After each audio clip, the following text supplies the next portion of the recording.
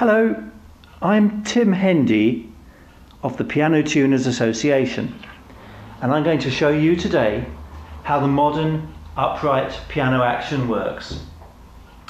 Now this is a model, this is the piano key, this is the piano hammer, this represents the string, this is the damper, damper rest rail,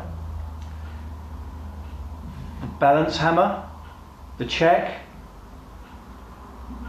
the lever and the jack. Now when the hammer's at rest, the key's in the unplayed position, this is how it looks.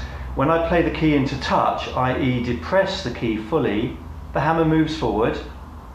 The damper lifts from the string to allow the string to vibrate. And the hammer is in what we call the check position, it's checked, so it's ready to play. But you heard nothing, because I played very quietly, very gently, and the hammer never actually made contact with the string. Now, that's the way a piano action works, because if a hammer actually made contact with the string, it would block the string and stop it from vibrating.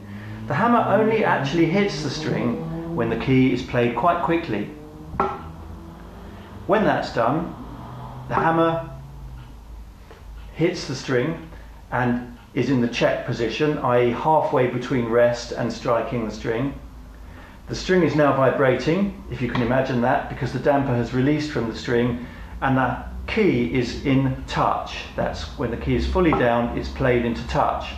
Now all these measurements have to be correctly set for the piano action to work properly.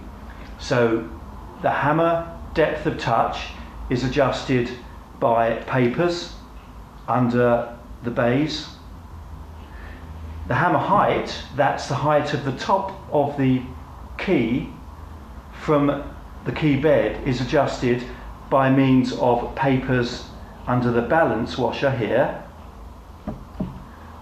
and also by means of adjusting uh, the thickness of the baize at the back of the key.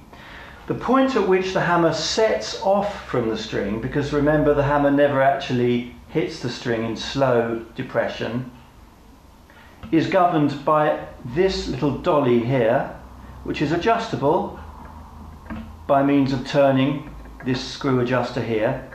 So the point at which the hammer moves towards the string and sets back is adjustable, as is the point at which the damper lifts from the string, adjustable by something we call a spoon just down here on the bottom of the damper body. So quite a simple, simple, simple system, but critical that every single adjustment, the blow distance, the set off point, the point at which the damper starts to lift out from the string, all critical adjustments. And if your piano at home isn't adjusted correctly in that way, then you'll get hammers bouncing on strings, or you'll get hammers blocking on strings like that, so the string won't sound. All sorts of ills and evils. So, there you have it. If you have any more questions, do feel free to contact me.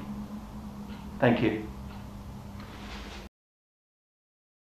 Madame Arthur, c'est une femme qui fit parler d'elle longtemps.